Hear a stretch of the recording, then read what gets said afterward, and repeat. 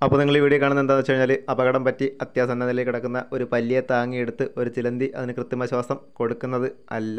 ആ പല്ലിയുടെ കഴുത്തിനെ കടിച്ചു മുറിച്ചിട്ട് അത് അതിന്റെ ദേഹത്ത് ചോര ഉണ്ടോയെന്നറിയില്ല ഉണ്ടെങ്കിൽ ആ ചോര കുടിക്കുകയും അതുപോലെ തന്നെ അതിന്റെ കഴുത്തിന്റെ അവിടെ മുതൽ കഴിച്ചുകൊണ്ടിരിക്കുന്ന ഒരു സംഭവമാണ് ഈ കാണുന്നത്. അപ്പോൾ ഞാനിത് ആദ്യമായിട്ടാണ് കാണുന്നത്. ഇതുവരെ അങ്ങനെ ഒരു ചിലന്തി ഒരു പല്ലിയെ പിടിക്കുന്നത് കണ്ടിട്ടില്ല. അപ്പോൾ അത് കണ്ടതുകൊണ്ട് നിങ്ങളെ നിർത്ത് കാണിക്കാമെന്ന് കരുതി ഇതേപോലെ എടുത്ത് ഇടുന്നതാണ്. അപ്പോൾ ഞാൻ അവന്റെ തീറ്റ തട്ടിയെടുക്കുന്ന കരുതിയിട്ട് അവൻ അതിനെ തട്ടി തോളി കയറ്റിയിട്ട് ഈ കാണുന്ന പോലെ അവന്റെ സ്ഥലത്തേക്ക് അതിനെ വലിച്ചെടുത്തുകൊണ്ട് പോവുകയാണ്. ഇവൻ ഇരിക്കുന്നതിന്റെ തൊട്ട് താഴെയായിട്ട് വേറെ അടുത്തേക്ക് എന്തൊക്കെയോ കാണിച്ചു കൂട്ടുന്നുണ്ട്. കുറച്ച് നേരമായിട്ട് ഈ കാണുന്ന പോലെ പൊളിക്കാനുള്ളൊരു ശ്രമമാണെന്ന് തോന്നുന്നു. തൊട്ടടുത്ത് പൂച്ച കിടന്ന് ശല്യപ്പെടുന്നുണ്ട്. പൂച്ച നടന്ന് വിളിക്കുന്നുണ്ട്.